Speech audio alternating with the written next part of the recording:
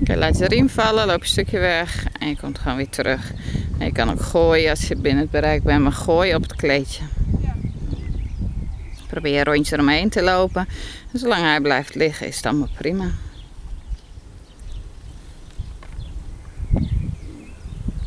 Dan loop je weer ervoor langs naar de andere kant.